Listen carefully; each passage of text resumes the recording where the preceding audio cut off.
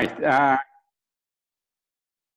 okay. So uh, good evening. So this is uh, Professor Rahmat-Samii talking, and uh, I will hopefully get you engaged in next hour and a half.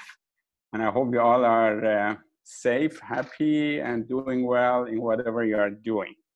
So uh, the plan is like this. I think I was told by the two very able uh, Eta Kappa Nu officers, both Natalie and Cody, that they usually serve pizza at Kappa Nu faculty talks. But of course, uh, it may not be as possible.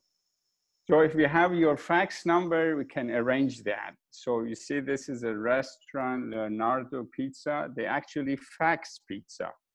So if you give us your uh, phone number, uh, let me see why it's not advancing here. Oh yeah. So the future is e-pizza. Okay. So Cody, are you planning to fax them pizzas? I hope. if, uh, if we can find a suitable are restaurant. you guys hearing me okay? Uh, okay. All right.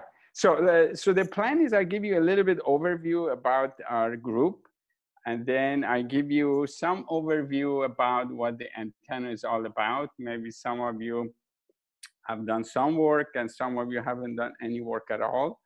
And then uh, we'll go to a little bit more detail on the medical application. That's the plan. So let's see how we can progress. I have a bunch of uh, slides, so I do my best to adhere to the time, but I can always control it. All right, and the plan is towards the end, we leave a little bit of time for if there are any questions, discussions that we can entertain. Uh, for some reason, why is not advancing? My, oh yeah, here. All right. so let me also do something here so I can get this uh, hide video panel. Okay, that's better. So the title of the presentation, as you guys voted for, there were a bunch of them, but then you guys selected this one to be maybe more appropriate for all of you. It's called the Biotelemetry and Diagnostics, Creating an Exciting Paradigm in Modern Healthcare Systems. In particular, are angled from Maxwell's equation and antennas and how these pieces of the puzzle play a paramount role in this new uh, technology and new development. So I'm Yahya Rahmat-Samii, I'm professor at ECE UCLA, and uh, my website is there, and so hopefully we can go through some of the details as we progress in this presentation. Uh, okay, maybe this. All right. So if you go to our website, most of the material you see in this presentation, you can find it on our website, either through papers or through books or book chapters. So our website is uh, www.antennalabee.ucla.edu.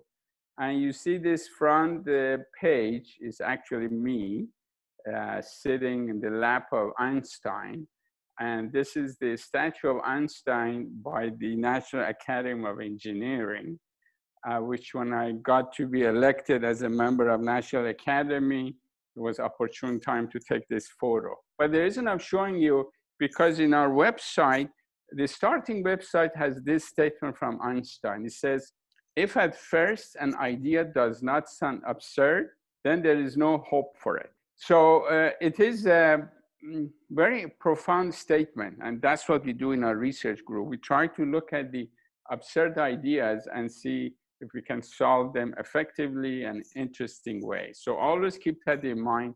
If at first an idea does not sound absurd, then there is no hope for it. So you always go after difficult ideas.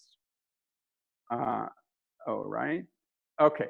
So uh, I'll always go with my students to many international conferences and we always get together even the uh, current students or former students and this has been a habit for us to stay engaged so i strongly believe it is immensely rewarding to work with talented students and see how they develop and grow in their professions so we keep uh, in touch with many of them. Some of them are now professors someplace, some of them are still students, some of them work at Jet Propulsion Lab. They're all over the world, and of course, many places in the US.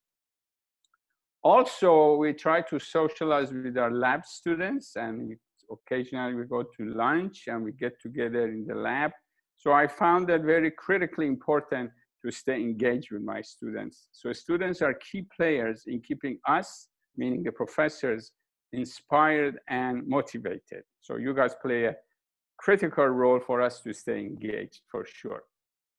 So now, what is the roadmap of the talk today? I've made it in three pieces. The left piece uh, is said introduction. So we go a little bit about Maxwell's equation, not much math at all, conceptual. Everything in this talk is conceptual. And I have entitled it Maxwell's equation are 150 years old and is still kicking. And you understand what I mean by that later. Then we talk about on the right, the medicine monitoring, some RFID systems, some again out of the box concepts. And then in the middle, the medical diagnostic and sensing. Here we talk about a little bit brain-machine interface, MRI, and some other applications. So right now I'm going to focus on the left part uh, on top. Okay. All right, so my group, we do diverse areas of research, which somehow relates to electromagnetics and antennas. So we work with the radio astronomy antenna, large dishes for space and ground. We work with remote sensing. These are the antennas, they look towards the earth in order to sense what the earth is doing, uh, detecting hurricane, detecting the wind on the surface of ocean and things like that. And then uh, we also do work um, in the personal communications. We have been one of the pioneers in this area in terms of development of the cell phone antennas, antennas for laptops, and you name it. But today, my focus will be more on the medical part of this application. And more recently, also, we are engaged in some nanostructure development.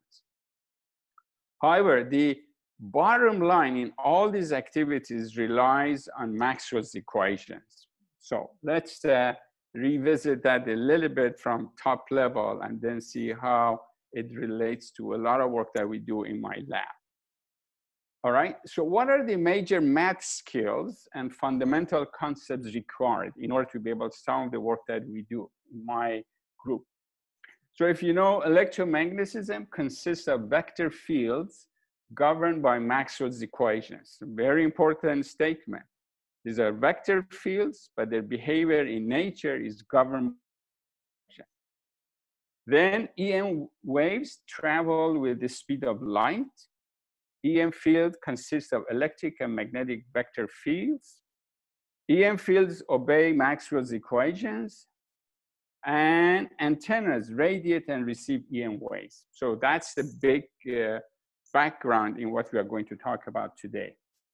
So the courses which are we have at UCLA which can relate to these topics are 101A and B, which I assume some of our undergraduate students have taken them, 162A, 163, 164, and a bunch of uh, graduate courses that they all somehow deal with Maxwell's equation, different aspects of it.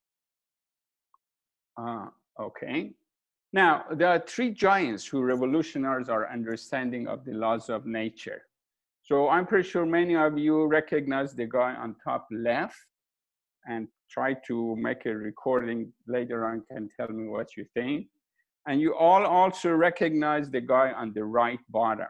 So the one on the uh, top left is nobody but uh, Isaac Newton. And he was a key uh, scientist in 18th century, which put the amazing uh, marking in the history of science.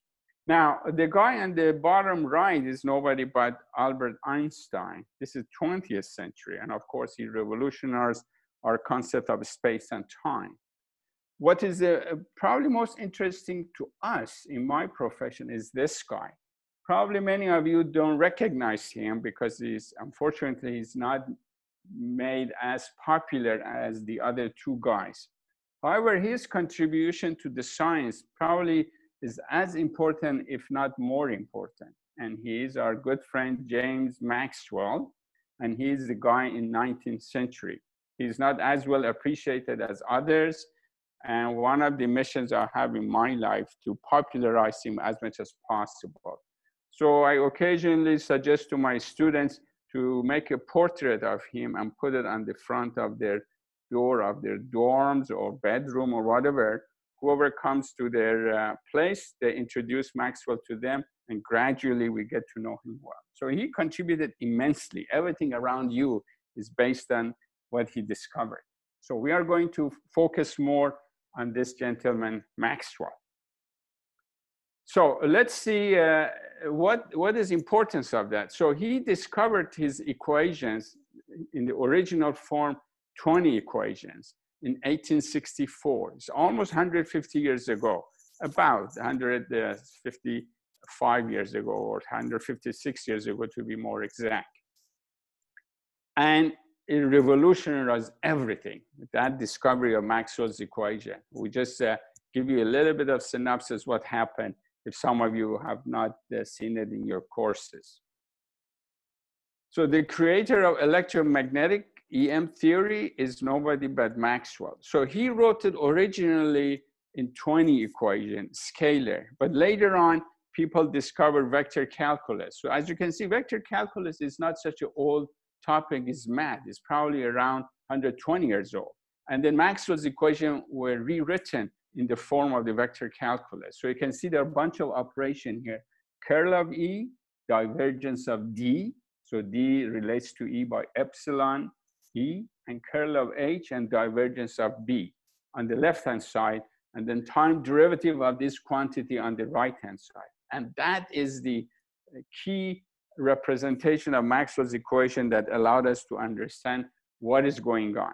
So the way I portray that, I said tremendous amount of knowledge is hidden in these four equations. But now, what is the ingredient of this equation for some of you who enjoy math? These are four coupled partial differential equation. Why partial?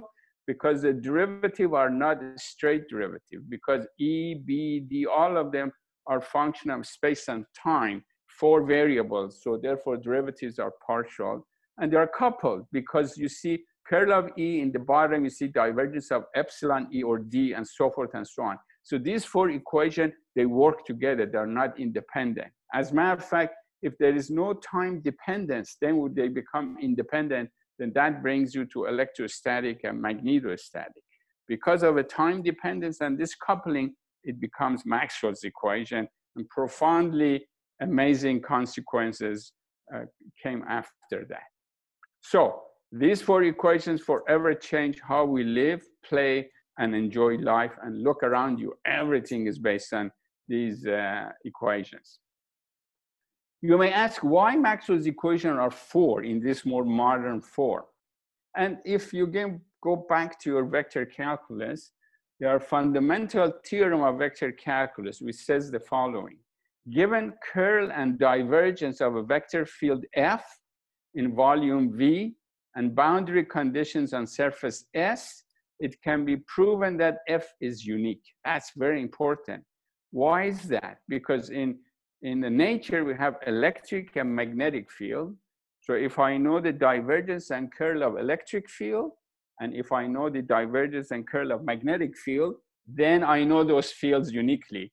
And that's exactly what Maxwell's equation is all about, as you saw in the previous uh, slide. Curl of E, divergence of E, curl of H, divergence of H. So these together complete the story. So that's why mathematically also profoundly important to appreciate why there are four equations in this modern form. Now, there are some uh, amazing consequences came from Maxwell's equation. First, time varying currents radiate electromagnetic waves traveling with the speed of light. And that's uh, profoundly amazing. For example, I have an example here, your cell phone near your head, and then uh, let's say you send signal from your cell phone to the tower. So you see something amazing happens here. I want to stress on that. And that's something that nature has done. Nature has done the most amazing thing, namely, EM waves detach themselves from antenna.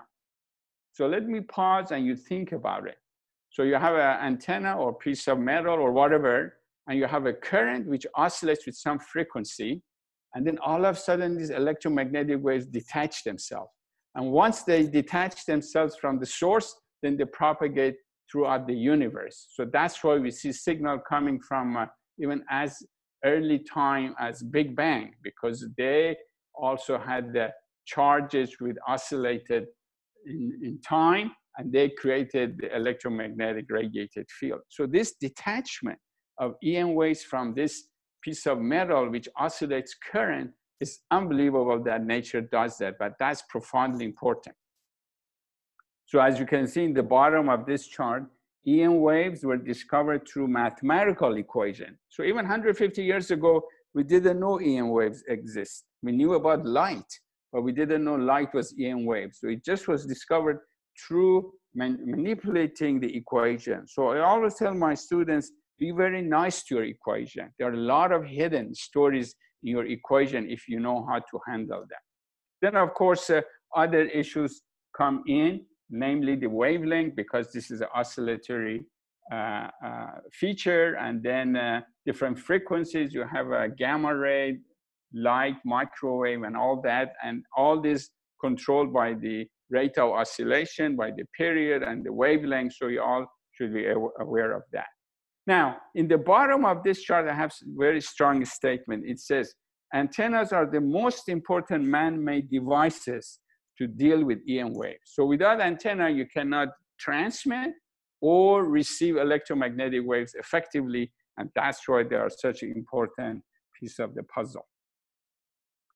So now, these four equations also predicted existence of EM waves. How fast do EM waves travel? So many of you, you used to live in Westwood, maybe not now, and not too far away from Beverly Hills. So you see cars like a Ferrari and all those good cars. So they might go 200 miles an hour if you don't get a ticket. If you go on the plane, again, you are not doing it recently, but whenever you did it, you might be flying about 600 miles an hour. And when you talk to your friends uh, just acoustically through airwaves. So that's about 720 miles an hour. These are respectable speeds, but they are there. But just look, what is the speed of electromagnetic waves? 666 million miles an hour. Astonishing. It just, uh, and as we know from uh, uh, um, Einstein's theory, nothing can go faster. This is ultimate speed. But can you feel how fast this is? So therefore, it's so important that we're relying on this speed to create our communications. Makes a lot of sense because everything is almost instant. So when I'm talking to you, all my talks and everything is digitized, sent to the antenna, go through the uh, electromagnetic waves, reaches to you almost instantly because our distances are so short compared to the speed of light uh, or speed of electromagnetic waves. So we have to be very happy that we are dealing with the uh, uh, some important aspects of the nature, which is the fastest ever, so far that we believe. Now, how do you then uh, understand what the antenna is doing in the bigger picture? So I made this little slide for you to give it a fundamental understanding. So fact from physics, accelerated charges radiate. This is profoundly important statement. Whenever there is a charge, when that charge oscillates respect to time, which has acceleration, then it radiates. So you all remember the simple equation I equal QV. Q is the charge and V is the velocity. Now, if the charge is now time varying, you mean the current. So derivative of current on the right is Q dV dt. Look here, dV dt is a derivative of velocity. So derivative of velocity is acceleration. Therefore, based on the previous statement, you immediately observe if your current changes with time, it must radiate. And that's the heart of the, the story of antennas. You try to design apparatus which supports the time varying current and hence it radiates. So observation, time varying currents produce electromagnetic radiation governed by Maxwell's equation. So once this E and H field propagate into space, they must satisfy Maxwell's equation. There's no other chance for them if they want to be electromagnetic waves, and indeed they do. So then how do I define antennas? They are electromagnetic devices controlling the flow of time varying currents, thus producing EM radiation with desired characteristics. So it could be antenna on your laptop, it could be antenna on your spacecraft to do remote sensing, could be antenna on your cell phone, could be all kind of other antennas for medical application. But the key is that we as designers of antenna are able to manipulate the motion of the current on these uh, materials and hence control how the electromagnetic radiates. Okay, well, simplest example, your flashlight is an optical antenna.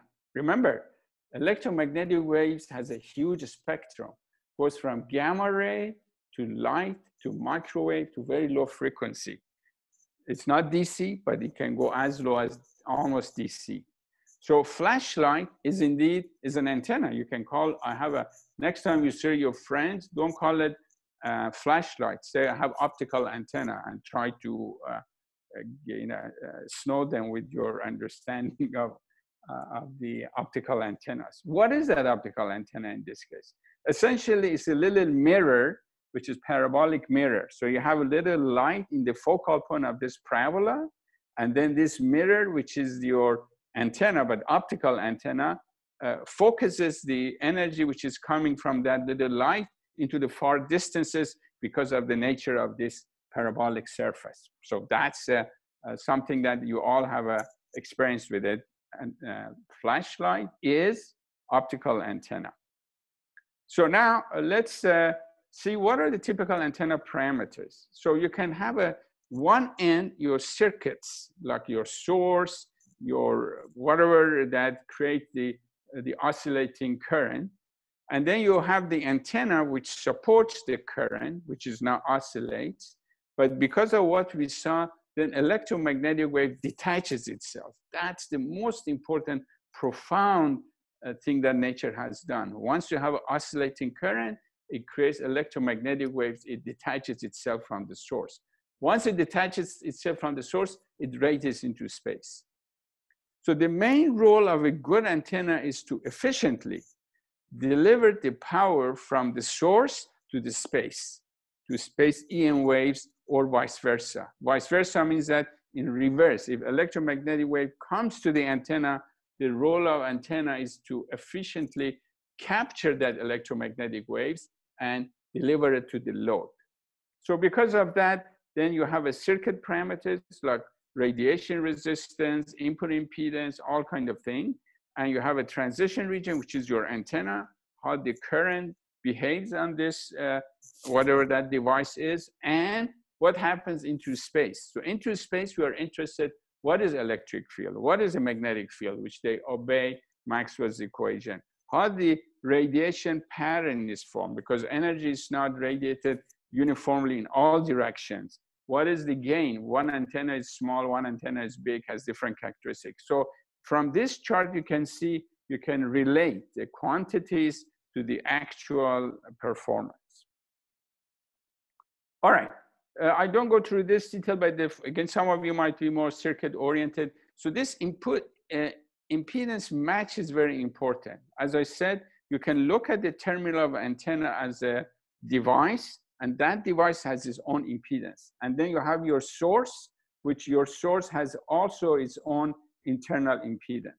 You all know from uh, your circuits, in order to deliver the maximum power to any load, it better be that the source uh, impedance and device impedance to be conjugate matched. Then you get the best deliverability. As a matter of fact, this is the heart of a RFID designs. So as you know from circuit courses, the maximum power is delivered to any device when there's a conjugate match. So we always strive to see how to design antenna to be properly matched to the source in order to make that whole arena very efficient. So make, I always found in my life, probably you too, sometimes you work with other people who may not be in your profession. So sometimes making an analogy is very effective way to communicate. That's very important. The analogy is very important. So I was a department chair at UCLA from 2000 2005, and I was invited to give a talk at the Rotary Club Beverly Hills. And the audience, it was luncheon. I was a luncheon speaker.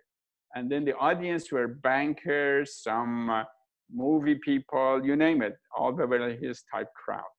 And they wanted me to talk about what I do. I don't know why they invited me, but it was fun. So the night before, several years back, I said to myself, how can I excite that community to appreciate what I'm doing? So you see, I've written here, if you are at a party and somebody asks you, who are the antenna EM scientists and engineers? What would you say to impress the person? Not only impress them, but also get them engaged to listen to you. So the night before, I came with some ideas. I said, like Van Gogh, who used his brushes to create paintings. Electromagnetic scientists are artists who are able to paint the radiation of electromagnetic waves with their antennas. You see the analogy? Van Gogh uses his brush and he paints. We, as the electromagnetic scientists, we use our antenna to uh, control the radiation of electromagnetic waves. So that's kind of a painting. All of a sudden, they felt very comfortable. Wow, now this guy is also maybe an artist, so let's listen to him. So then I challenged them. I told them, look at the Van Gogh's paintings here, and look at some of my paintings, which all came on the cover page of many journals. And now I ask you the question as you're listening to me. I think my paintings are more beautiful. What do you think?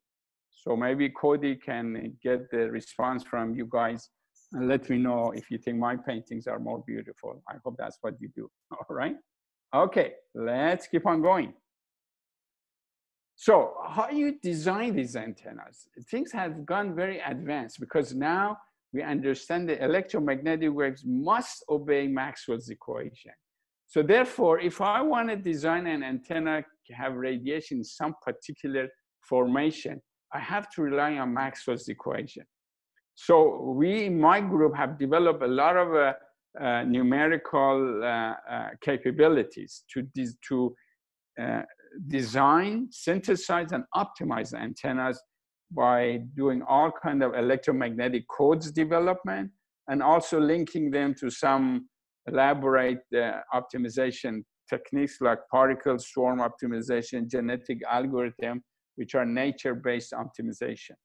And additionally, there also exists many powerful commercial Maxwell's equation solvers helping designing sophisticated antennas. So nowadays, you can do all kind of fancy things because of the power of the uh, computers, parallel processing. So some of these designs might take a week on the computer because you have to do this detailed mathematical solution of Maxwell's equation, but it's doable and you can get all kind of interesting stories out of them.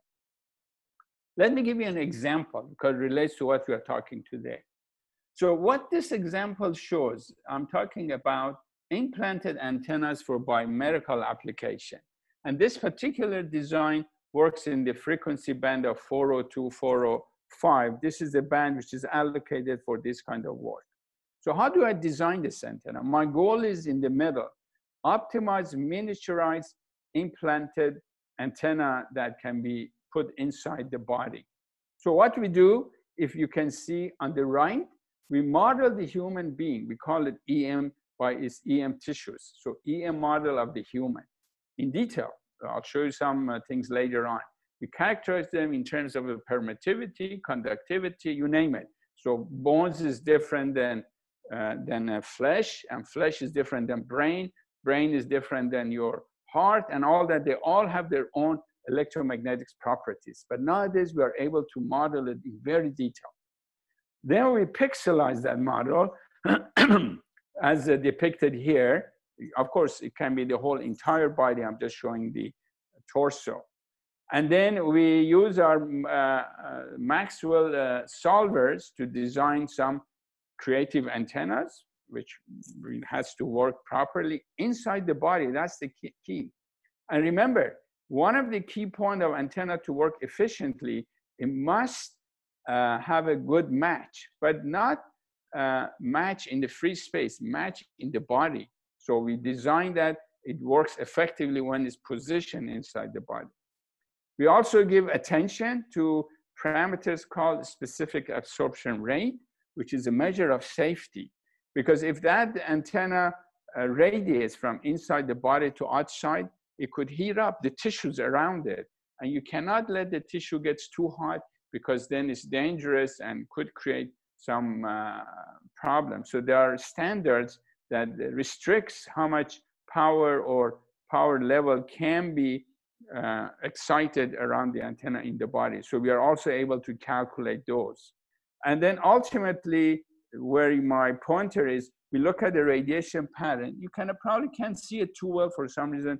It came a little bit faint. But what that means that if this antenna is inside the body, as you can see, it radiates most of its energy towards the front of the body, very little in the back.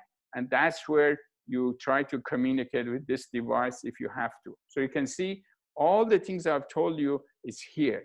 This guy here supports a time varying current. What is the frequency of time varying current? 400 megahertz. And since it's time varying current, it radiates, but it radiates inside the body getting out. Some of the energy gets absorbed, as you can see here. Some of the get, get energy gets out, and that's the way you create your communication link between inside and outside. And we talk about this a little bit later. Now, we have uh, written a lot of papers, of course, with the collaboration of my very able students, and these are just representative. And we were fortunate, many of them came on the cover page of all kind of scientific journals. So these are all on my website. You are most welcome to go and look at them. And you know, we, we work on the cell phone antennas, as you saw here. We were some pioneers. We talk about antennas going on Mars. We talk about the CubeSat antennas. We talk about antenna designs for remote sensing, and you name it. It's all over, all kind of things that we do in my group. We also have some books. If you are interested, you can go to our website and see what they are. For example, this particular one is a very fascinating book about electromagnetic optimization by genetic algorithm. We use the concept of the nature-inspired uh, concepts and apply it to optimization of antennas and so forth. And this one is implanted antennas in medical wireless communications, for example. And we also have many book chapters all over, 35 of them. And again, they all deal with different things. For example, you have a chapter in this book called Electromagnetics of Body Area Networks, and you name it. This book is all uh, mathematical and numerical techniques to solve Maxwell's equations and so forth and so on. Now, antennas can be extremely large. We have worked on some of them. This is Effelsberg 100 meter antenna in Germany for radio astronomy.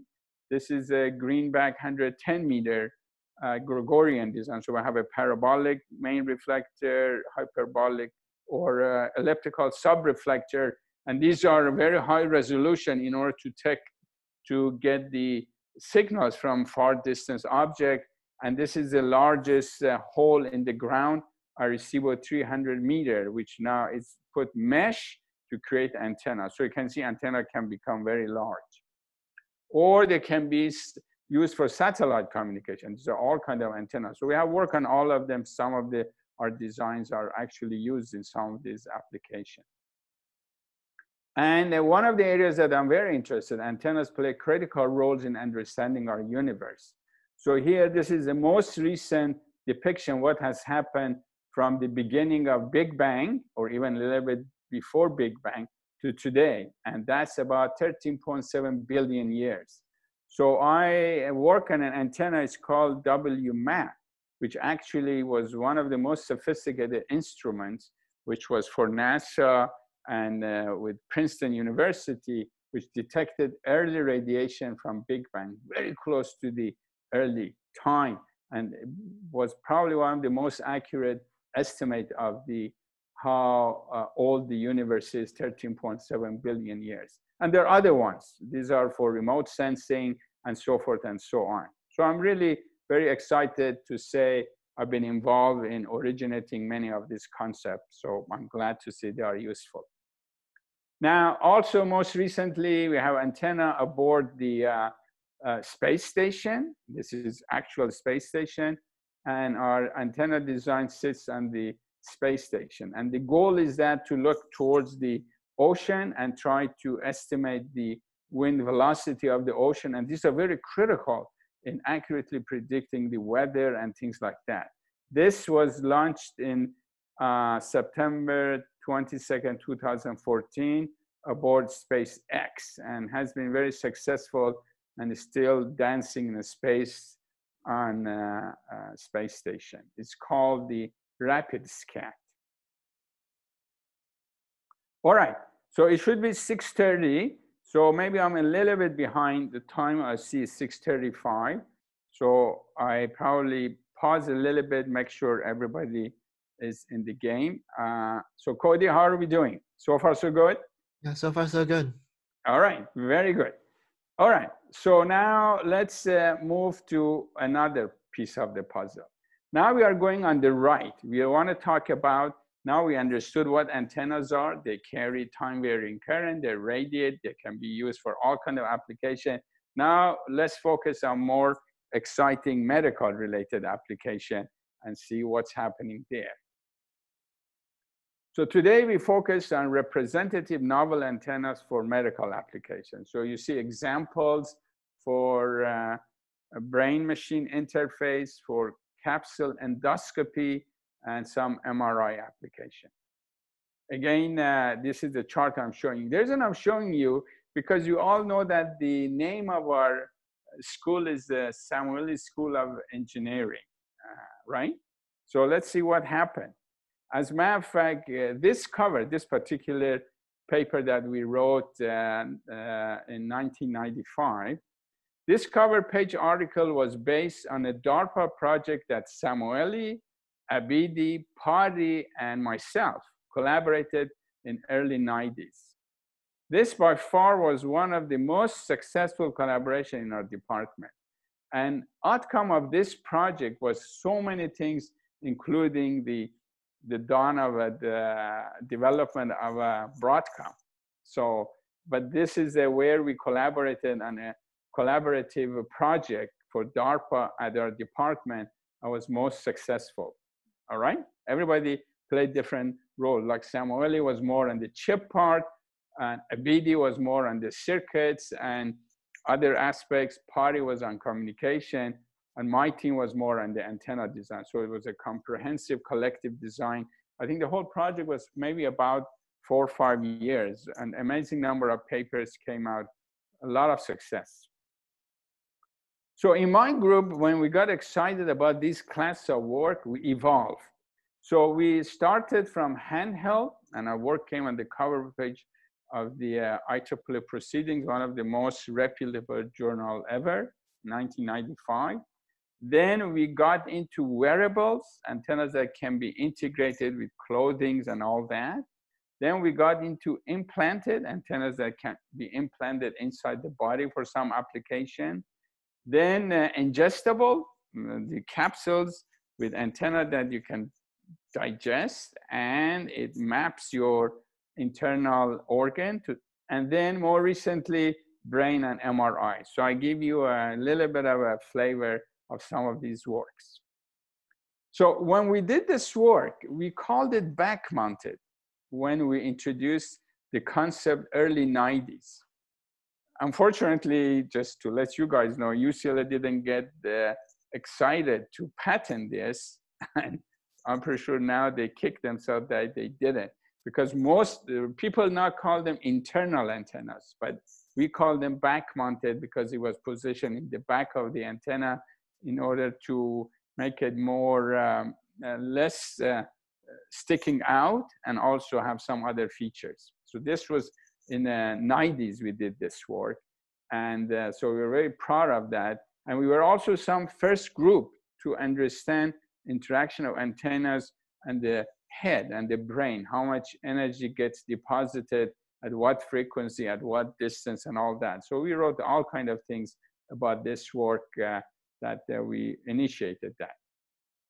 And then uh, because of our capability as time progressed, we made a lot more uh, exciting designs. These are the multi-band.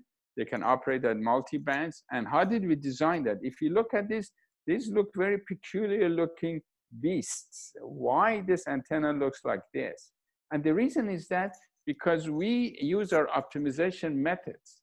And through optimization, then we got designs which are not intuitive at all, but they function as we want them to be. So these are some really uh, amazing work that has got a lot of attention. We have extensive experience in designing and optimizing novel antennas. For example, if you look at this and you see this little B here, this B uh, represent the concept of the particle swarm optimization, that we use the notion of the how the storms move around to find the most fertile area. And we use that concept, develop the optimization method, which now we can apply to the design of antennas. Just to give you a little bit of a appreciation, we start with the patch, look at this whole patch without any holes or anything. And we subdivide that patch to small pixels. And then we let optimization decide which pixel should be metal and which pixel should not. And when optimization finishes, we get the design which gives you the performance you want. So for that reason, the feature of this antenna is not intuitive whatsoever, but is very functional concept. Or we have looked at some designs, again, came on some cover page of the uh, some magazines to designs antennas to be positioned on the laptop.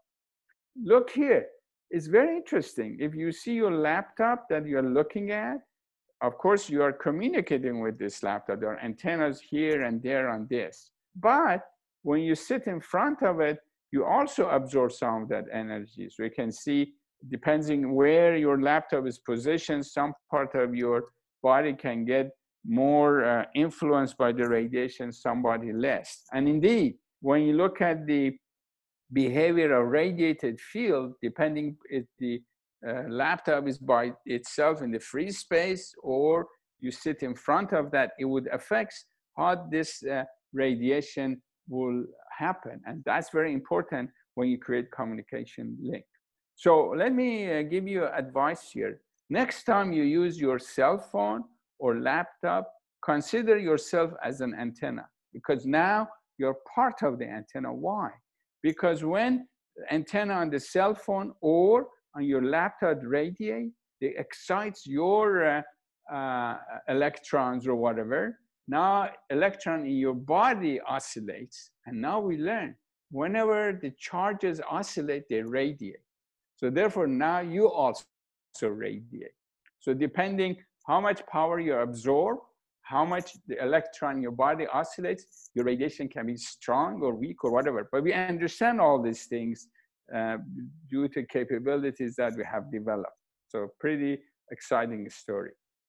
So now lessons from past. Again, you guys are all uh, very smart students and I'm pretty sure you have a lot of dreams for your future and all that.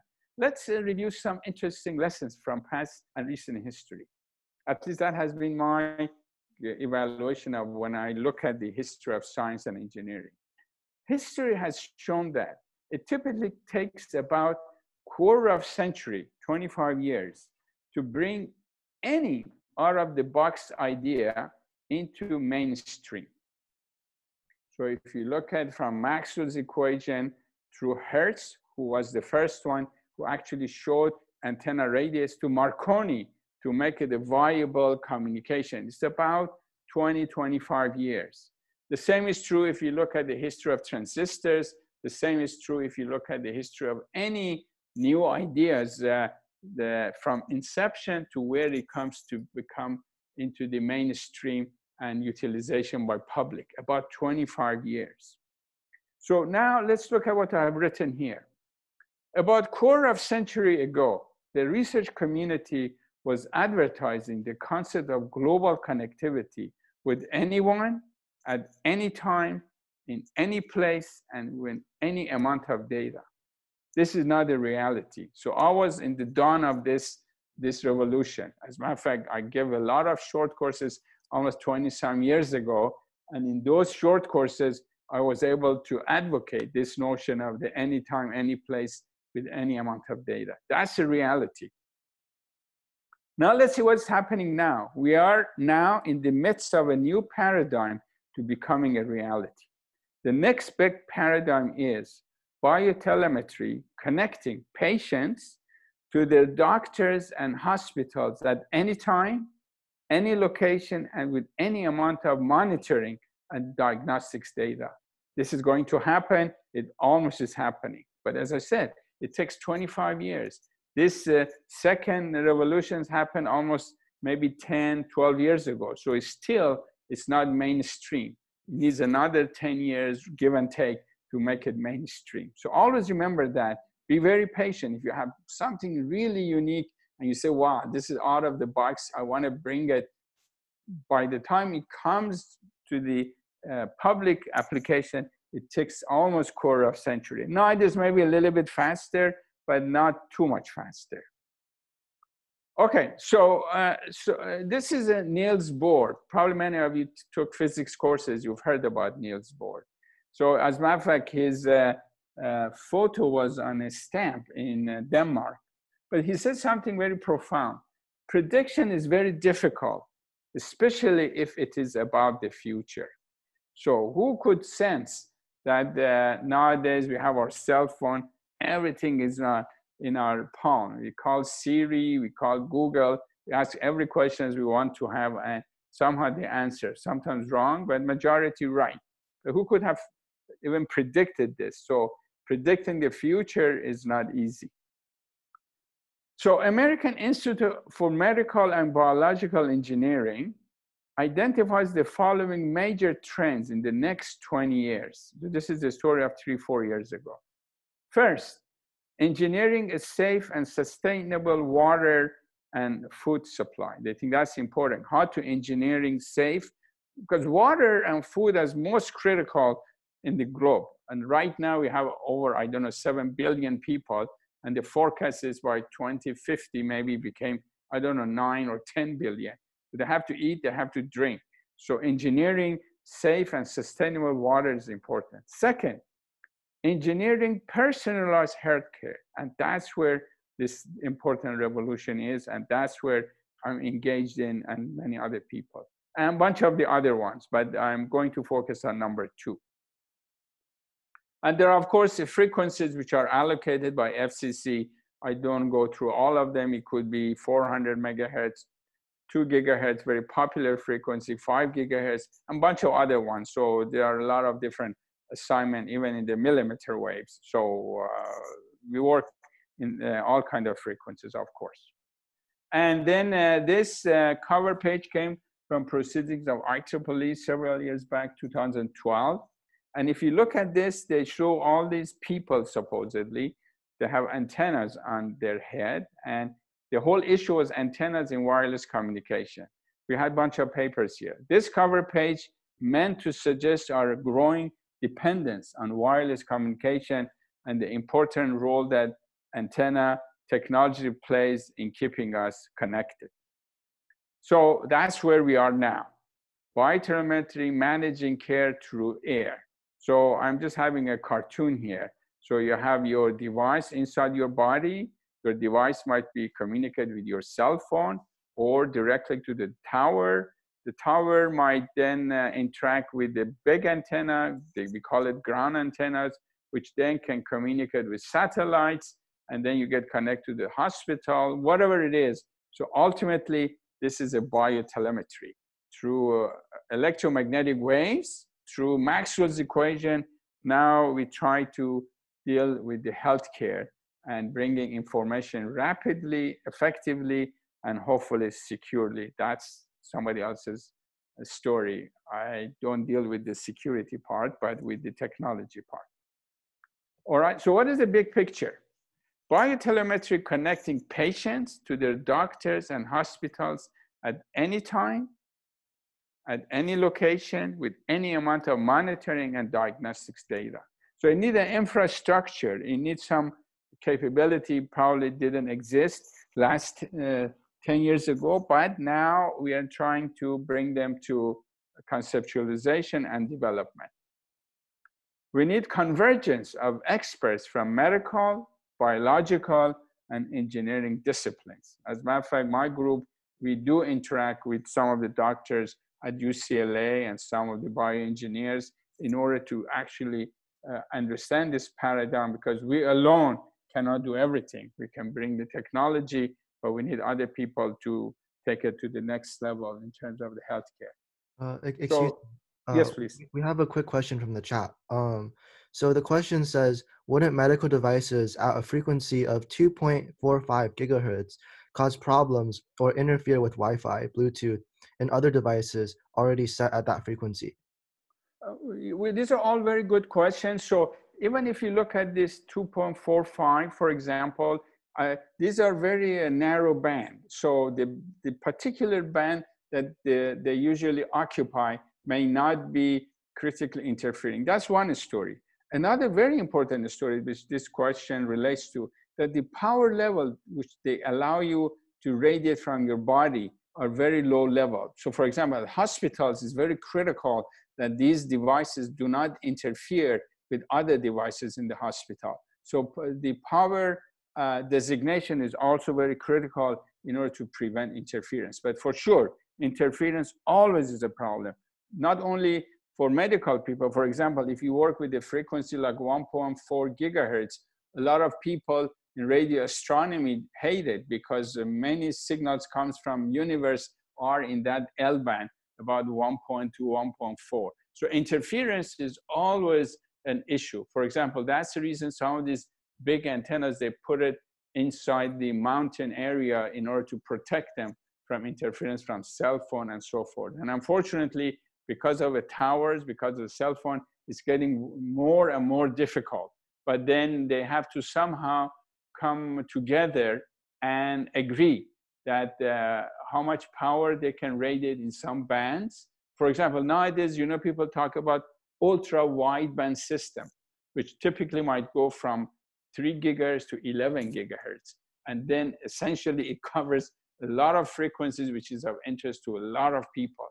But in order to be able to do that, they are from FCC, they have regulation that the power level cannot go above certain level, hopefully diminishes the interference. Good questions. And again, I'll try to finish in reasonable time and then uh, we can answer even more questions. Make sure you write down your questions and then we revisit all of them. Sure.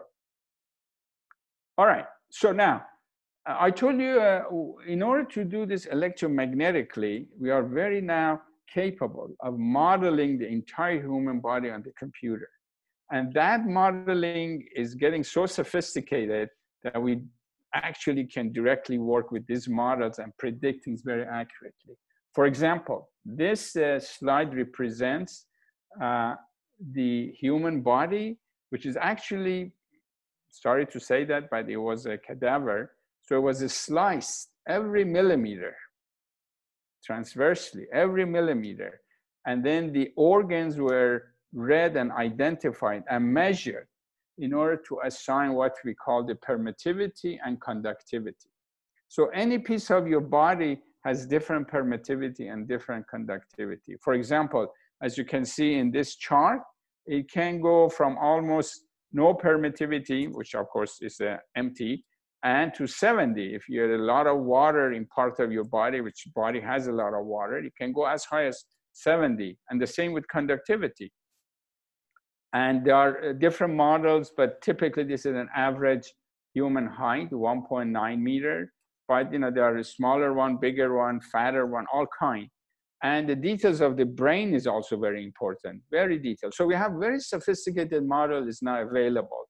Why do we need that? Because if you look at the Maxwell's equation, as you recall, it was a curl of uh, E and then divergence of D. So D was epsilon E. So epsilon represents the permittivity properties of each of these pixels in the body. So when we solve the problem's entirety, we actually put the actual human body model. More sophisticated ones now, you can are more dynamic. You can have a blood flow in your model if you want to be important. Why this is important? Several reasons. One is that in order for your antenna functions effectively and efficiently, it has to function well in where, in what part of body is positioned.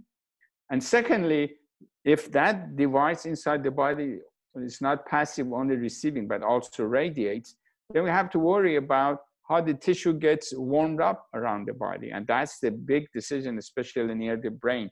That's why we have this issue of a specific absorption rate that it controls the how much heat can be created near the antenna or device inside the body in order to be safe. So there are regulations. Uh, if we have time, we can refer to some numbers. And, and already you have this seen this chart. So that shows that our capability allows you to model the human, do numerical design, antenna design, look at how well the impedance is matched. For example, if you see my uh, cursor is around 403 megahertz, and the match is better than minus 20 dB, which is great. What does this match means? Let's say you have a device, you send power A to the device. If the device is not matched to the source, most of that energy that you send might reflects back. So you want to reduce the amount of energy reflects back. You really want to deliver that power that you're spending money for it to the antenna, which then antenna efficiently radiates. That's the key.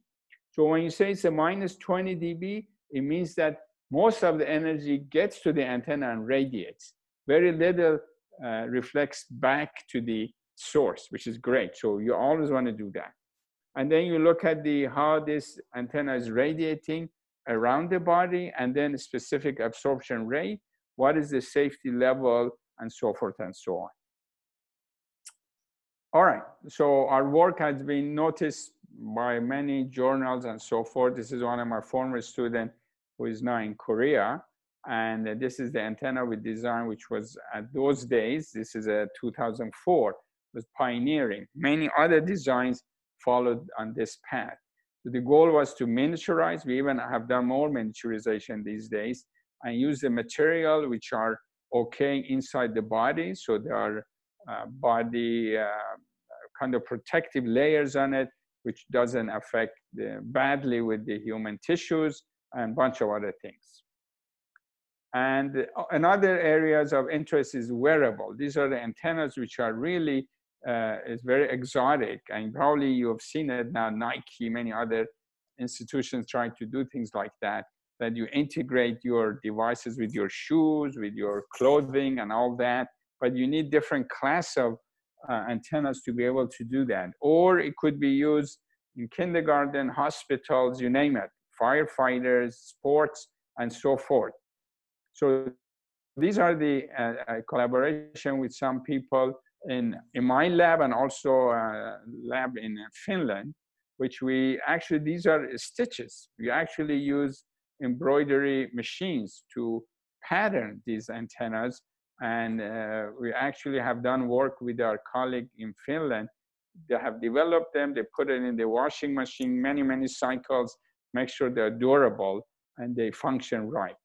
Now, uh, you see, this could be in the RFID tag, which there is a chip there. So you send a signal, it, uh, it ignites the chip, and then uh, you read whatever the tag wants to tell you what this is all about and then they radiate back. So this conjugate match of this design is very critical. And here, for example, we are using conductive thread with polymer uh, uh, core plated with silver because you need conductivity. Remember, the ultimate goal is you have to sustain uh, accelerated charges. Accelerated charges are the heart of electromagnetics radiation.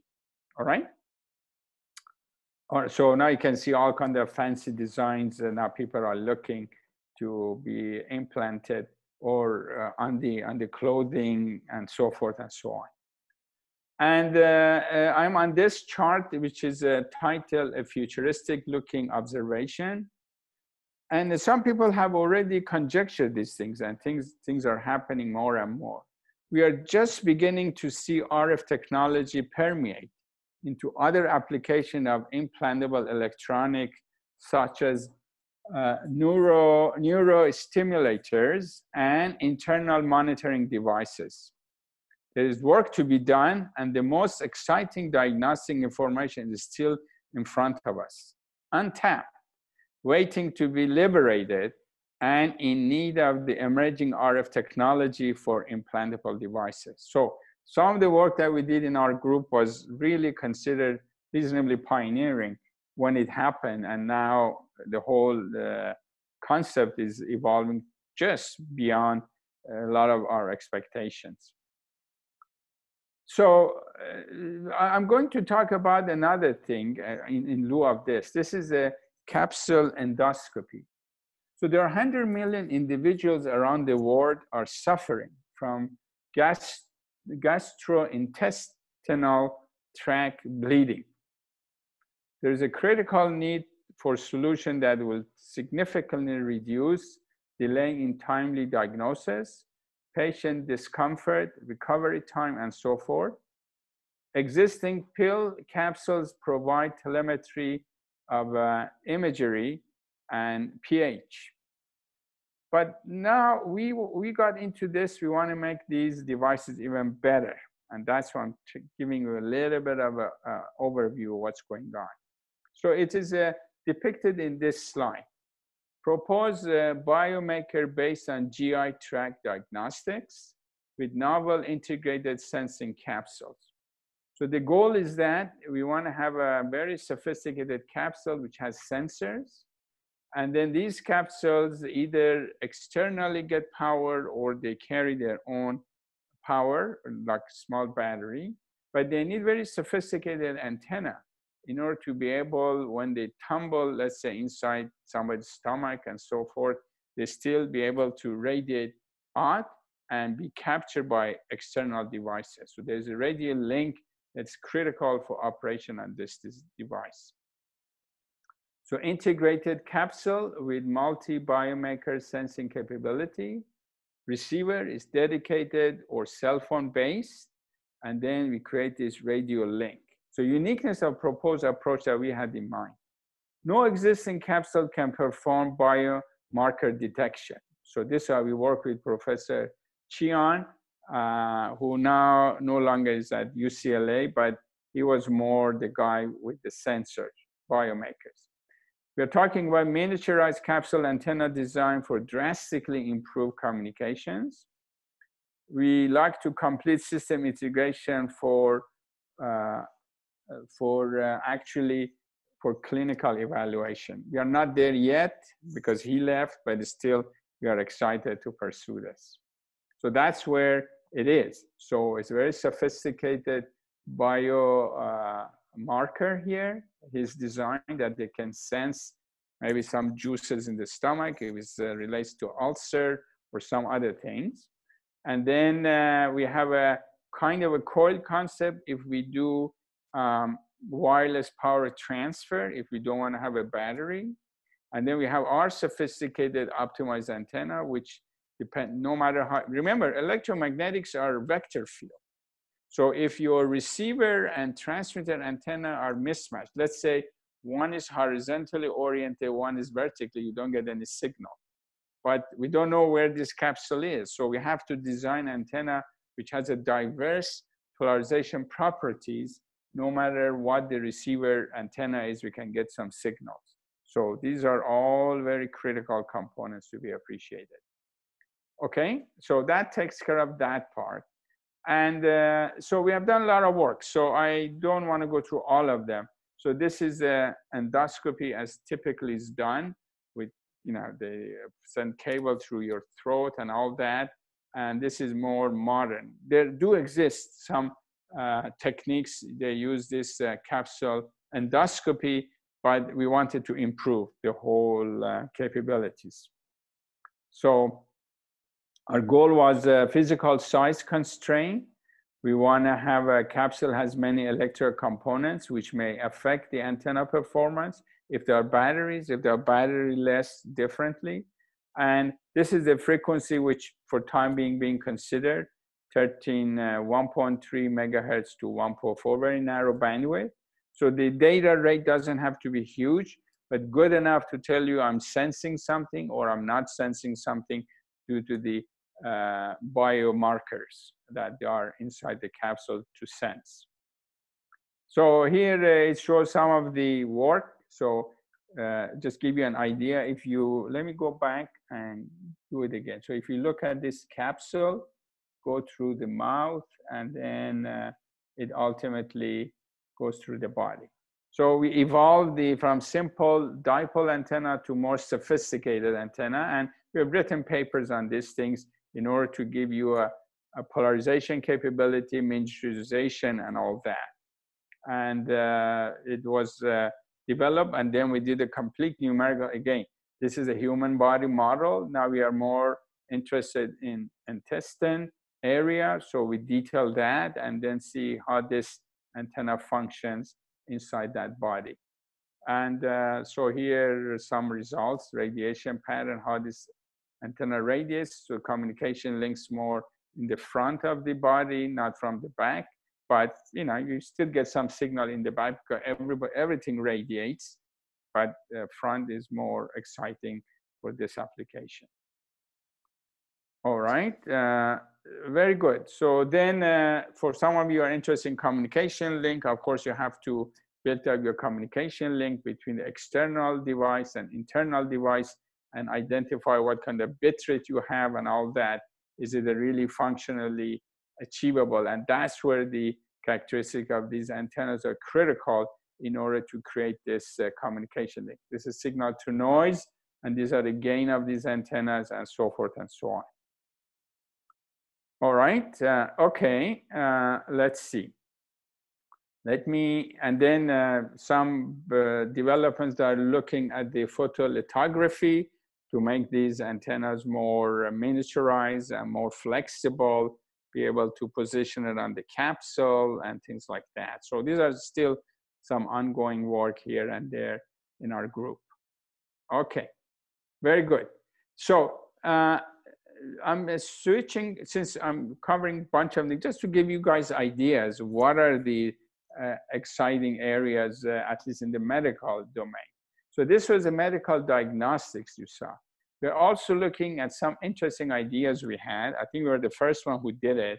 I don't know how ultimately will be applied or not, but conceptually was exciting. Remember, I always told you guys, if at first an idea does not sound absurd, then there is no hope for it. This kind of absurd ideas. So let me tell you what is it all about. So you know, uh, patients identification monitoring and uh, you know this this part i'm interested so uh, medicine a lot of old people uh, we don't know how well they take their medicine so they usually give like this medicine timers uh, reminders to take your medicine rfid tag in the container so this uh, is available so when they people get reminded, take your pill and what time you took it and all that. But there's no guarantee that those, especially elderly, they hide their pills under their pillow. Nobody knows if they have taken it or not. So our uh, story is different. We were, so we don't know if they took it or not. You, you saw what happened here, right? Because uh, it, so now the one that we are looking at we want to make sure when you take it, there is a signal comes. So we know you took it. The tag on that uh, little pill activates only when it's uh, swallowed by the patient and sends a signal. So this was pretty exciting work. I don't go through details, just give you an idea. So we were hoping to have a reader here, circularly polarized. So assuming at this minimum, we have to assume the patient puts that on their neck.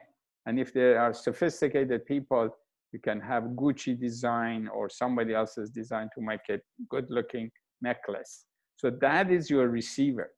And then when the pill is taken, only when it's taken, the way the design has been made, these guys communicate. and then you know that particular pill is taken. Because that pill is, is has some kind of a um, registration on it so we know which pill was taken. You might take other pills or she and that get registered differently. So that's a pretty exciting area and so we have uh, designed uh, such a capsules with very sophisticated antenna look so don't worry about the details. Again we optimize these things and so forth. And it's designed to get conjugate match to the chip. So this is a chip location which is conjugate match in order to have the best performance out of this design. So, so we have designed such a thing and uh, we have done some characterizations and all that and overall looks to be interesting. Now, how easy and uh, expensive it is to put such a thing on every pill yet to be understood, but you know, technology is evolving. I'm pretty sure is something feasible. All right. All right. So uh, again, we look at the specific absorption rate, how much power is radiated away from the neck to the receiver or vice versa to make sure everything is safe. And this particular work was done at 915 megahertz. These are some, some of the allocated bands for these kind of applications. Okie dokie. So yeah, so seven. So now I'm uh, 10 minutes behind. So I'll try to make the next part very quick. My goal was to finish by 7.20 and allow you guys if you have some questions. But if some of you already had your uh, uh, pizza faxed to you and you're not hungry and you want to stay after 7.30, we can do that too. But let's plan to finish by 7.30, then we'll let Cody and Natalie uh, make some uh, decisions on that, all right? All right, so the next uh, item of interest, first of all, I assume still you are there. I don't see you guys. I probably should be able to see how many people are, oops, what did I do? Uh, uh, I don't know how many people are there or not, but that's okay. We can There are go about back. 20. Oh, okay, about 20. Okay, that's a good size. Okay, very good. So let's go back. So here it, my cartoon says, sorry, you have temporarily lost your audience. But I saw some of you, so I haven't yet. okay, that's a good news. Please stand by. All right, so the next part of the puzzle is this lower portion. So this is a brain-machine interface and then uh, MRI. I go quickly. And uh, again, we have written on this thing, publication, books. If you are interested, you can I go and find it on our website. I I don't think your slides are displaying right now. Oh, it's not displaying? No. What happened? Uh, maybe my, my screen is not shared. Yeah, it's not sharing. Uh, is it shared now? No. Oh, share. Oh, let's, let me do that again. How about now? Yeah. Oh, you see it now? Mhm. Oh, okay, that's good. Uh, okay, very good. No, do you see it now? Yeah, we see it now. Oh, okay, great. So we are going to say a few words about this part, maybe in next uh, five, six minutes, and then see what we can do. So the focus will be on two topics. One is a brain-machine interface, and one is uh, some MRI coil. So the big picture, brain-machine interface. The advances in uh, neuroscience during the past decade have brought the promise of uh, restoration of mobility, senses, and communication to patients suffering from uh, paralysis and uh, neurological diseases. This is achieved with devices transforming thought into action, thought into action, the brain-machine interface, BMI systems. All right. So uh, there are a lot of uh, interesting story on this thing. So our contribution to this work with one of my PhD students, who she's going to uh, do her defense this quarter actually, was on this topic, uh, how to design antennas that can communicate with the electrodes uh, position inside the brain in order to detect uh, some interesting neurological features of the brain. So that's the how it's depicted here. So you see, uh, uh, this is the neural recording and brain uh, stimulation, and then RFID uh, inspired wireless power data telemetry. And our goal was uh, to design the antenna system, at least one of the concepts. Other people are doing it in other institutions, of course. And these are the uh, neurosensors, bunch of them, and then the signal from there gets captured to the antenna and then transfers to the external antenna and ultimately communicate with your computer or whatever. So anyway, so this antenna also was pretty exciting one. This is kind of a, because you have to make it easy for the patient. Some of the earlier ones, they were just too rigid and uncomfortable. So these are flexible embroidered antennas, which they can be positioned here. So you have to design these coils uh, carefully and effectively. And then this is the segment of the brain that we are interested. And this is air. This is a, let's say receiving or transmitting antenna. Then you have a skin, you have fat, you have bone, you have brain. And uh, that uh, uh, electrodes are positioned in the brain part in order to detect the neural signals and our antenna resides here. So again, this communication link is critical in order to understand the functionality. If you read the bottom line, an external electric field generates currents in the dielectric human body. Hence, power transfer via magnetic field in an inductive near field link is a favorable approach to the wireless powering of implanted devices.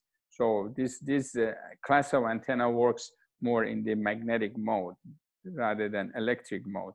Typically, that's the case when you have a, a uh, loops or coils and things like that. So not going through the details, so a lot of work has been done in terms of miniaturization, power handling, and so forth and so on. And this is one of the uh, very uh, good designs. It's very small antenna, as you can see, one millimeter by one millimeter by one millimeter that resides inside. And this is the other antenna. So these are all really small uh, in order to be able to detect uh, characteristics of what we are looking at. So in, this is an implanted uh, loop antenna, and this is a transmitting loop outside, and so forth and so on. So this is about one millimeter cube, 3D cubical loop, very special loop, and uh, is conjugate match with the implemented IC. Again, conjugate match is important in order to make this uh, relation between the device and antenna uh, efficient, as I mentioned in the beginning. All right, so let's go down. And then we did a lot of work just to see how this link can be characterized. Again, a lot of numerical modeling, a lot of Maxwell equation solvers to deal with this, knowledge of the true human body as best as we can, and some simpler model on the left to see how reasonably good our sophisticated models are compared. We always do that check. You have a simple model that's easy to understand, and then we use these complex numerical models to compare with simple model and ultimately extend it to real story. As you can see, these are some parameters I was telling you. For the brain, the relative permittivity is about 50 and relative conduct and conductivity is uh, a 0.5. So brain is not super conductive, but it's still pretty conductive. And then other tissues like skull is about 17.8, skin 46.7, and different conductivity. So all these are very important in modeling that tissue and understand what this antenna is doing. All right, so let's see. Yeah, maybe another three minutes. I stop. Now, in the last part, I have some interesting story. I have a good news and I have a bad news. So let's see what is the uh, good news. So the good news is this is not the topic of this talk. So the bad news part it is, but not the good news.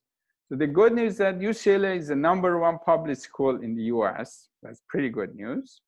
Another good news, UCLA has 117, but maybe not 118 NCAA championships for some of you who are a sports fan. So we used to be number one, but we are almost number one, number two with Stanford. So we have no, most number of NCAA championship trophies.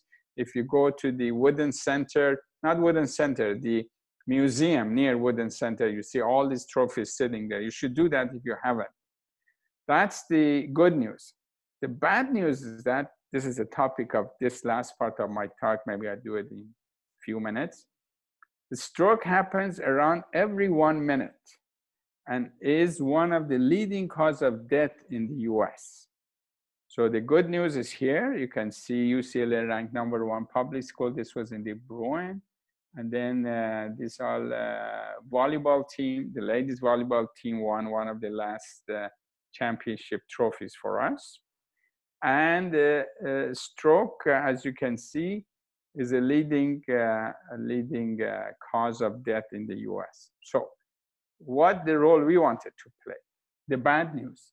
The stroke is one of the leading cause of death in the US. The aim of research has been to enable a paradigm shift by electrotextile MRI RF coil with higher comfort level for patients larger accessibility of imaging area, and higher image quality. The stroke prevention is one application example. So existing uh, coil, when they put people in the MRI machines like that, is very cumbersome, very rigid, and not comfortable for the patient. So we wanted to develop new class of MRI coils to be positioned on the neck to make it comfortable and give you even better images. And the reason for this, this class of a stroke, this is near the veins near the neck. So the, uh, the, these arteries are the two major arteries near neck.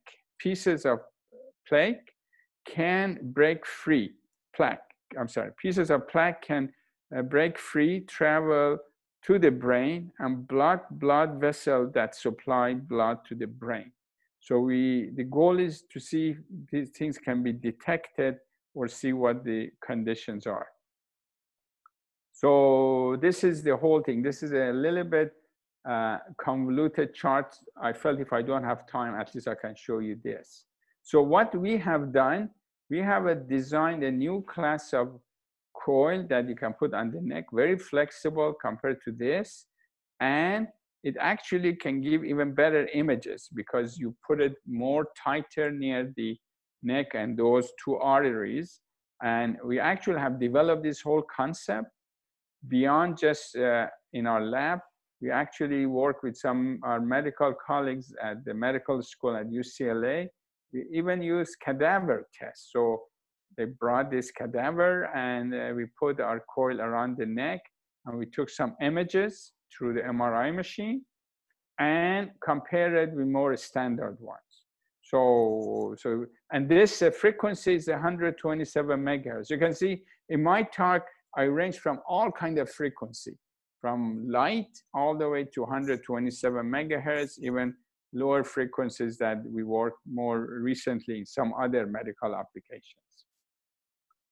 So the so I don't want to go through details of that. If we have time, I'll do. But for time being, maybe I better come to the end and then see how we can go forward. So I assume you guys know something about MRI. So I don't want to go through the detail of MRI machines and what MRI is essentially doing and why these coils can capture the electromagnetic waves and then uh, related uh, pictures and all that. So anyway, so we have developed the whole thing. We have developed very unique capability. Again, we did a lot of numerical modeling, Maxwell's equations, solutions, and all that. And uh, we developed a coil, this representative. Of course, we never tested human yet because that's not easy. You have to get permissions and all that. But we have done it on some cadavers and we did some uh, human body models inside the MRI machines and all that. And uh, so this shows some of the development procedures. Uh, I'm going a little bit fast here, but in lieu of time, uh, let me just uh, show you. Uh, we have done all that thing, how to develop these coils. And we, again, you can see these coils have been de designed to have a good match at 127 megahertz, which means that uh, when uh, they radiate or they receive power, they have very good match to the load. So that's the key. Most of the power either get transmitted or received. That's critical for any antenna works well. We tested them near a fluid which resembles some of the basic characteristics around the neck just to see if our concepts are working and our design are meaningful. And uh, then a lot of tests were done. Um, again, don't want to bother you with the details. The actual frequency, which is the atomic frequency for MRI application, 127.7 megahertz. And some design procedures, again, we did it both using uh, embroidery concept and also some special uh, uh, material which can be easily integrated with the flexible uh, cloths and things like that. And uh, these are some innovative designs we have. So this is, so again, we did a lot of simulation by putting these designs near the uh, neck of a human that was modeled through a sophisticated compute, computer algorithms. So some evaluation of the models and so forth. So let me go forward. It was tested uh, to see if it breaks or not. So it was many, many cycles of uh, up and down, up and down, up and down, just to make sure they preserve their properties. And then it was deployed. It's not the fanciest neck. It was one of my students. Uh, so he picked this uh, particular coil, uh, I mean, wrapping around the neck uh, uh, clothing material and our antenna resides inside. Antennas are here. Uh, so two of them on two sides of the neck and all that. Uh, essentially, uh, if you want to know what it is, uh, see, these are antennas this side and that side. Uh, so that's what we have. All right. And so then we tested it. we used a liquid which resembles the body characteristics at this frequency in the MRI machine uh, at UCLA, and then we got some images. So these are the standard coils, that non-flexible, bulky coil, and these are our coils, which we believe we got a lot better performance, at least to our best uh, characterization. And the ultimate goal was to use cadaver. So we actually, I went there, but I was outside because you have to put special guns to get in. And they brought the cadaver here and uh, of course they covered the face so we don't know what that who that person was but again medical school does a lot of this for all kind of application and we position our coil around the neck of this cadaver and got some images. This is the standard coil when it was positioned and this is our coil. Was positioned around the neck of the cadaver here. And uh, we believe again we got the much better images compared to other one. And the reason is that because our coil comes very close to the neck, it's not rigid, it doesn't stay separate, so improve the signal to noise ratio to our best understanding. All right, and a concluding observation, so we have all seen that. Okay, I have two more slides and we are done. Again, we have papers published in uh, different journals and so forth and so so on. So those are all available if you are interested in. So we are here to help. Hope you all stay healthy and may never need an MRI RF coil system. And if you do, we are here to make you comfortable. all right? So remember us. Okay, so what was this talk was all about? I made it in three segments. I gave you an overview of importance of Maxwell's equation, electromagnetic waves, and the vehicle which delivers or receives electromagnetic waves, namely antennas. The paramount components for all these applications, communications, space application, you name it. Then we focus on two uh, bunch of medical related application in terms of medicine mo monitoring and diagnostics and brain machine interface and MRI. So somehow I was able to do all these things uh, in this uh, span of time. And uh, so maybe some concluding remarks for you guys. Universities must be considered as vital players in creating new and visionary concepts for future communication systems. This is our antenna lab, a lot of our good students. This is our good friend Maxwell, another good friend that I didn't talk about, Darwin, because we use optimization based on Darwin's uh, concept. And then we develop all kind of antennas. So UCLA Antenna Laboratory, in cooperation with other institutions, is advancing novel antenna design concepts and developments for modern wireless communication applications. So we are looking forward to get you involved if you are interested. So thank you, wishing you safety and happiness. And then since we are at the end of the day, no matter what I talk about, you feel like this. When you're hungry, everything looks like beef. So it is 7.30 in Los Angeles. It's at 10.30 East Coast where Cody is. So I know all you guys are pretty hungry, so I better stop. And now, most importantly, it's supposed to be 7.20, but it's uh, 7.30. So uh, Cody, now you can uh, take the charge here and uh, let me see what you like to do in terms of questions. I'm here. I I'm around.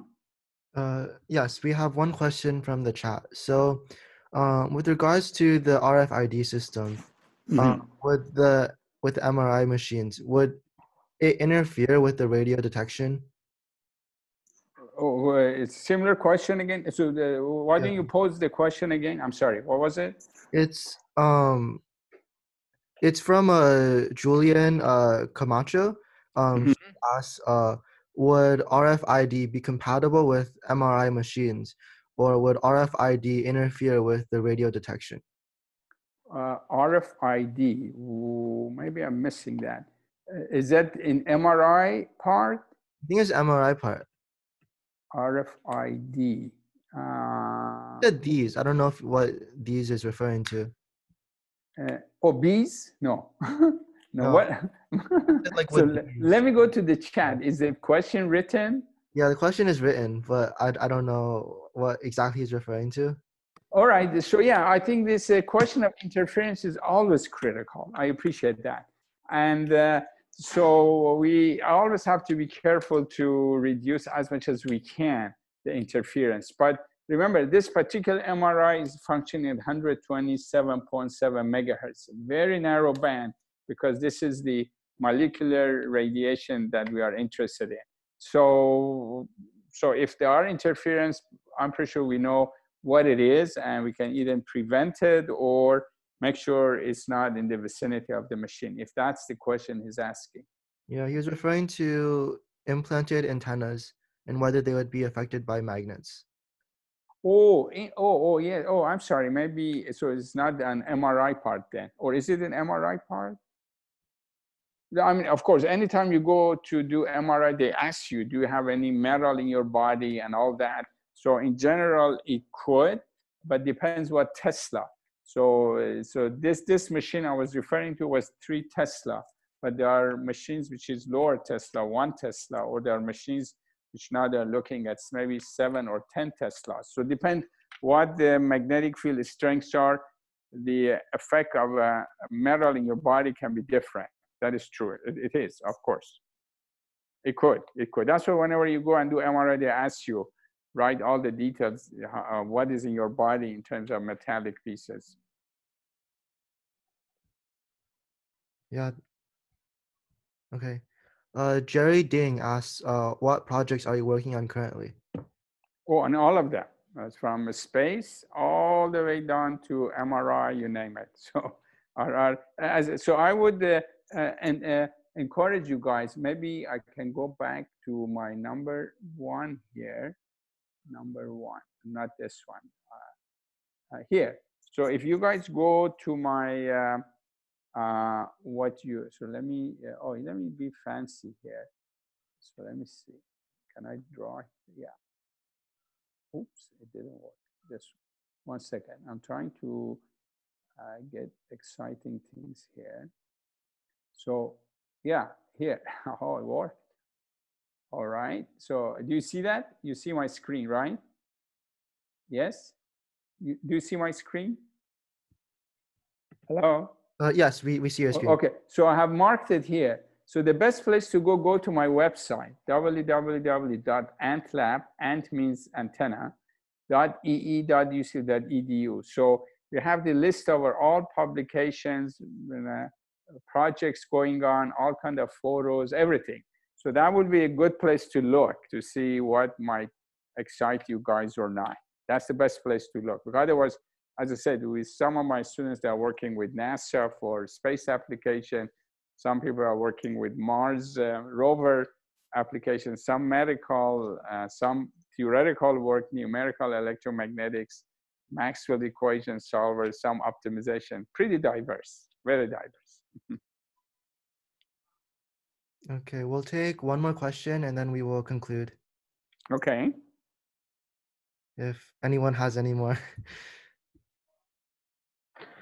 Uh, hi, Professor. Sorry, um, I, I didn't type the, my question because uh, mm, I'm on my phone. So specifically, I'm interested in a you know body model where you Yes. have uh, basically a, a uh, you said it's uh, one uh, cubic millimeter. Uh, it's like basically One of yeah, one of them because these yeah. I'm sorry. Go ask the question. I I then elaborate. Please go ahead. Yeah, so Sure. I, I just wonder how you really did this because this is really the, the granularity of this body model is uh, you know it's uh, it's it's it's really really surprising. I mean it's impressive. So I Yeah, I think if you the, as time uh, progressed, the ori- the beginning body models where uh, the cubic cell was much bigger, and then actually more recently, Chinese have an amazing body model, uh, even uh, very sophisticated, more detail and all kind of so different parts of the world. uh, It, it was initiated uh, originally, I think, someplace at one of the universities, I believe in Texas, that they create the human body model.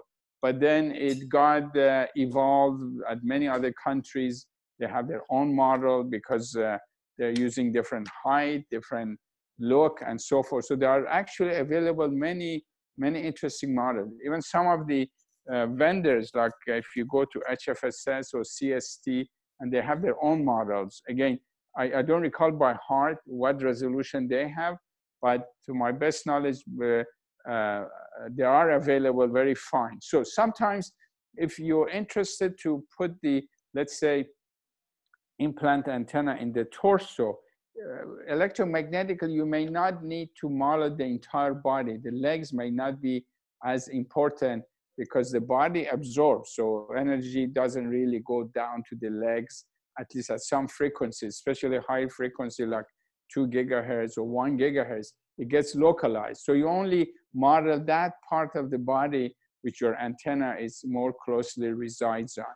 But at Oh, other yeah. frequencies, a very low frequency, then you may need the entire body uh, because then it becomes important.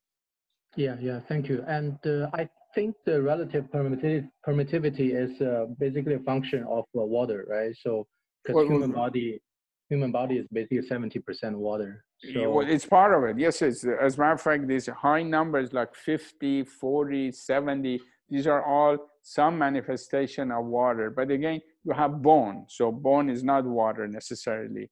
So that's why when they have done these slices, they have identified, I don't know, right now, some of these models may have over 70 tissues or even more, uh, represent more detailed human body. And then those get to be captured. But again, in some application, depending on the frequency, it may not be super critical to have all the tissues modeled necessarily, but it, it, it is available if one needs to use them. That is correct. Yeah. So does uh does the um I mean is the uh uh dielectric uh, dispersion of uh, water taken into account for the model? Because basically around the uh Yeah. 18 gigahertz, like this thing, the capacitance would drop, or rather say the permittivity would drop dramatically. Yeah, in general, the, some of these uh, Maxwell solvers uh, allow you to have a, a, uh permittivity or conductivity as a function of frequency. So when it Mhm. is function of frequency, inherently it gives you that capability. But again, depends on the application. If your design has very narrow band, so you focus on that particular frequency, then dispersion is not super critical necessarily. But if you are designing in a much broader band or whatever, then you have to give attention if the dispersion plays a role as a function of frequency, for sure, yes. So when we solve Maxwell's equation, we don't bring this divergence of epsilon e, we don't bring epsilon out of the uh, this uh, divergence uh, because first of all, epsilon depends on the position. And secondly, in general, can be also function of frequency. If you solve it in frequency domain and so forth, that is correct, yes. Thank you, Professor. Oh, you're welcome. All right. Okay, we are all done? All right, yeah. Thank you everyone for coming out. Uh, okay, maybe round of applause for Cody and Natalie. So they work very hard to put this meeting together. So they did a good job. Very good. okay. All right. Have fun and stay safe and happy. That's most important. So we'll talk to you guys later. All right.